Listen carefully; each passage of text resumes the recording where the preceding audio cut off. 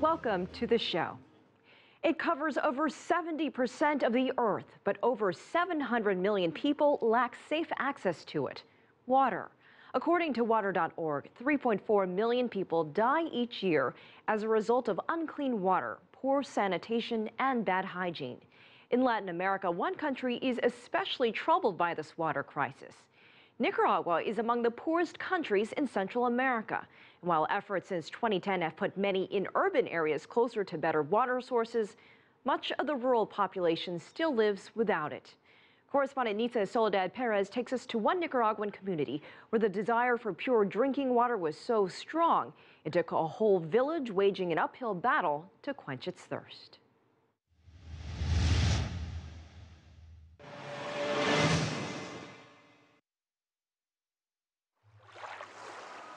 It's known as a land of lakes and volcanoes. A Central American nation rich in freshwater resources. But in rural Nicaragua, water is a scarce commodity.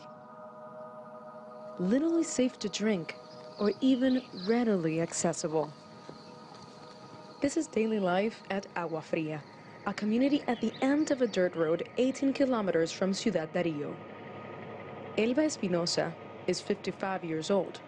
She spent the last 13 years going down this trail to get water, some days four times. I wake up at 3:30 in the morning, then we leave around 4:30.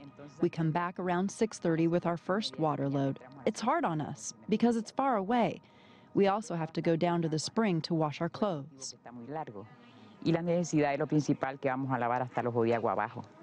It takes Elba almost an hour and a half to get to the spring and another hour and a half to come back. She carries the water in these buckets, and from them she'll drink and cook later in the day. Only half of Nicaragua's rural population has access to water. That leaves another 1.5 million without a drop. The government, I wouldn't say it's their fault, but certainly the government doesn't have enough funding to, to go and build about a, thou a thousand or 10,000 different water projects, be it wells or, or gravity flow water systems or whatever.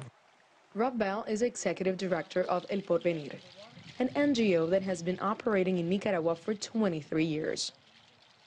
Its goal to provide safe, clean drinking water for a population that doesn't know it's underserved.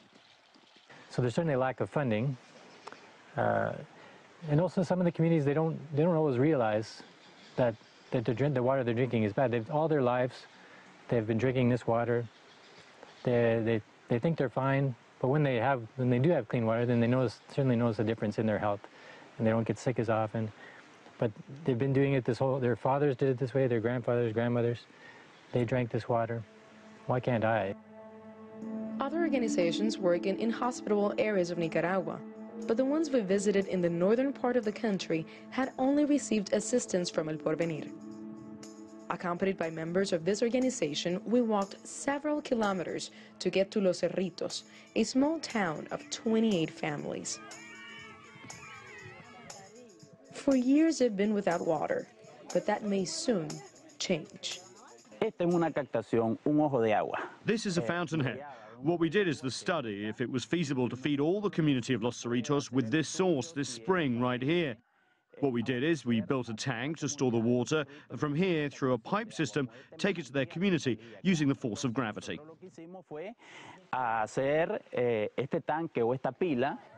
Community members have spent over a year digging this trench, a place for their new water pipe. My grandmother died at 100. She could remember her grandfather and great grandfather going up and down the hill, pushing water with the horse, or walking the four kilometers.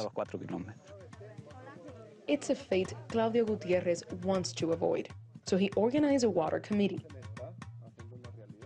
I felt so bad looking at the kids going to school, many times without taking a shower and the other kids would make fun of them. I would tell them, don't laugh. Can't you see the problem we're facing? Before Ana Sequeira got married and started a family, she lived in a community that had a well. But when she moved to Los Cerritos, she had to make major adjustments. I've been living here 32 years. It's been a sacrifice since I moved, going down to find water pockets to bring water, to do laundry, and even to get water to drink. But then cholera came to this area, and then the Ministry of Health told us not to use standing rainwater and instead go down to the spring. Waterborne illnesses are a major barrier to development in Nicaragua. In many rural villages, families drink untreated water from rivers and streams polluted with fecal matter and pathogens. According to UNICEF, a child dies every 15 seconds from diseases attributable to unsafe drinking water. Things have changed over the years too. There's more more pesticide use. There's more more more people, more concentration, so there's more open defecation. There's more contamination in the water. So people are getting are getting sicker. Only 52% of Nicaragua's population has access to improved sanitation. That's well below the average of other countries in Latin America and the Caribbean. So we need to invest like 45 billion uh, to get universal access in, in water and sanitation. Uh, but we have found that uh, more than the lack of resources is the lack of institutional capacity. The capacity of the countries to organize the sector, to invest in the right things at, in the, at the right time, is very difficult in some countries and that's why uh, we are in this situation. Communities trying to change that statistic are sharing best practices. Like Las Mesas, the model town that is inspiring other communities to take steps to safeguard their water, one drop at a time. Before 2006, the residents of the community of Las Mesas would have to hike about four kilometers, two up and two down, to come here to this well to get water for their daily tasks. This is a trail they had to go through every day. It's uphill and muddy. Crossing it while hauling 20 kilos of water is a dangerous task, but that's not the only malady. We have estimated that over 200 million of hours per year are wasted uh, in, in the region because of the lack of access to water supply in the house. And we have found this that the worst part of the of this problem is run by the women and children because that's the people who the family um, used to get the water for home. Fortunately for Las Mesas, that's a problem they no longer face. The town has water distribution, built by a perforated well and a submersible pump that sends the water to a tank located on a hill and lets gravity distribute it to every home in town. Meters and readers keep residents informed of their water bill. They then pay. Jesus Vega is a community organizer of Las Mesas.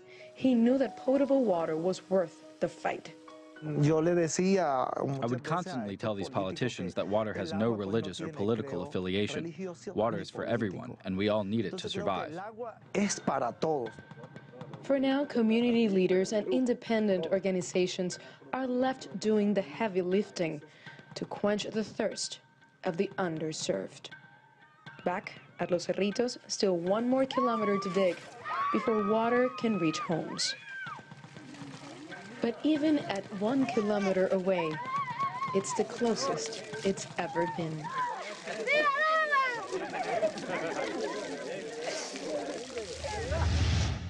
Since she filed this report, correspondent Nitza Soledad Perez stayed in touch with the village of Los Cerritos, and they recently shared some good news with her. Their water project has been completed, and they now have safe running water just outside their homes.